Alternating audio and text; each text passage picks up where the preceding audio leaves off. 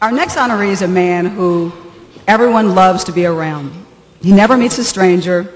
He's the first black news director of a major tele, I should say major radio station in Dayton. Let's meet Mr. A.J. Brown.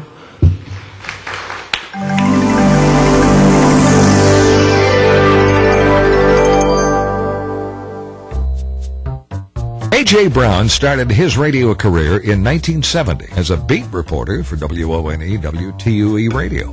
It wasn't long before he was covering news from fender benders to congressional hearings to presidential campaigns.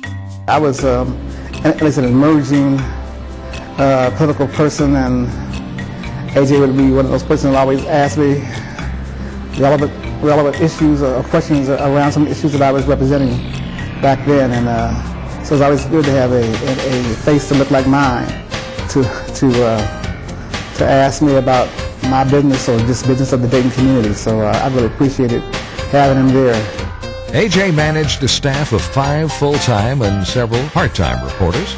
It was quite an achievement back in those days to be a black news director in one of Dayton's major radio stations. A.J. Brown.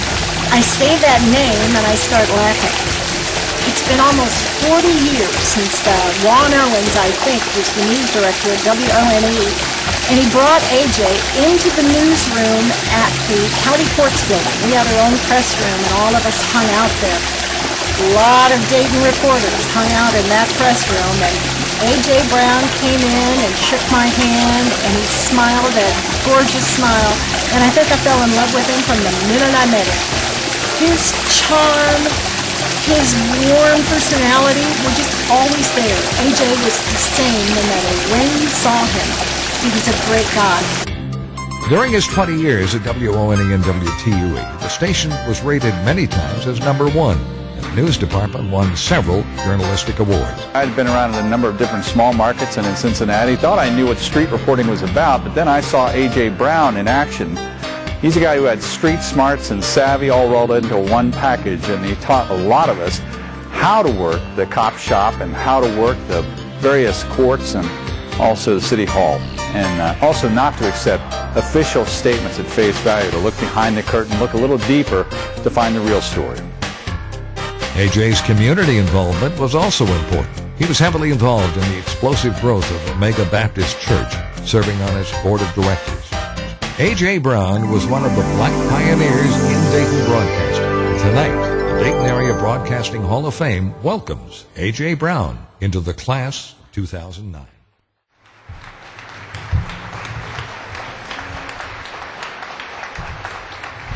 I, I feel like the president. Be seated. well, it is certainly an honor to be here. Uh, I appreciate all the support I got over the years. I see some friends and family out at table number 26. Shout out to you.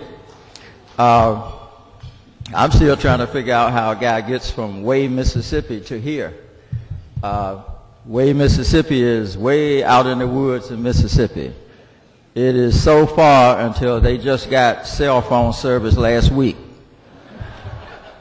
But at any rate, I would just simply say I'd like to uh, thank the uh, Broadcasters Hall of Fame committee for all of their hard, hard work.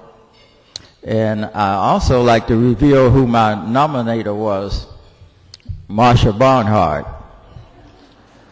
Marsha finally figured out how to give me a date.